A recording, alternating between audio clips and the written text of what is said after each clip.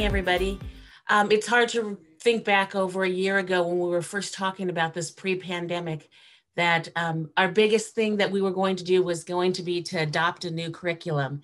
And and then we are here. And so i couldn't be happier that with our choice to go with wonders and maravillas just as an overview these were the strengths um, that we found from all of the implementation work. One of the biggest strengths we found from this is that tech personalized, accessible learning and differences. There isn't any way that we could have made it really to the extent that we have without having adopted Wonders Maravillas for our elementary students.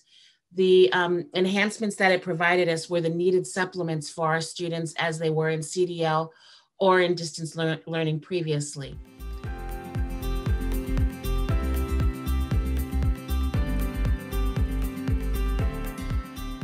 Hi, my name is Amanda Bethune, and I am a fourth grade teacher at North Plains Elementary School. I've been teaching in comprehensive distance learning since March of 2020 and using the Wonders curriculum, and wanted to give you a little bit of feedback on how that's been going.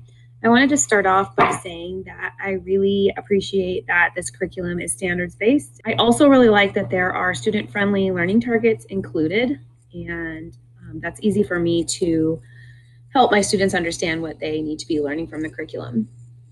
I love that all the resources are read aloud to the students if they choose. It's been really nice as we try to um, continue to maintain making growth with students' reading abilities that they can not only listen to the story but also read it at the same time. And all of the materials in the reading writing companion as well as the reading anthology are uh, have the capability of being read aloud to students. I, of course, love that the curriculum is uh, accessed digitally. One of the things that's been really um, helpful is having a digital platform that has some fun activities on it for the kids. The activities have been really great to use in our um, asynchronous time after the students have been taught a concept.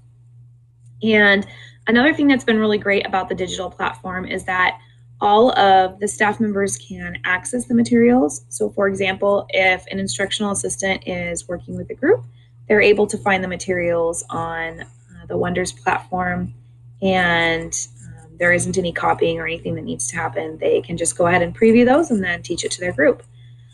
I really like the reading writing companion aspect of Wonders. Some things that I really like about it is that um, it's engaging, the kids like it. It can be used as the paper material, as the actual physical reading writing companion, um, which my kids sometimes use at home. It can also be uh, accessed online and the kids can type in their answers. And then finally, it can be adapted to um, for use in a slideshow or in another manner. Um, having that resource has been really helpful. Those graphic organizers are great for the kids as a scaffold and for a great place for us to work on talking about the learning. Uh, the assessments in Wonders have been really great because they're all uh, graded online. So that cuts down on my grading time and I get immediate feedback, which then I can use to drive my instruction um, quickly. And students also are getting timely feedback. Finally, I really like the quality of the literature in Wonders. I like that there are multiple resources that have really pertinent issues that the students are facing today. And there are all types of literature, including informational, opinion, and narrative, as well as some poetry and some other fun little writings in there. Um, the literature has led to great conversations in my classroom, and in general, the kids really like the stories. So uh, I hope that's helpful and gives you a little bit of insight as how we've been using Wonders in the classroom. Thanks.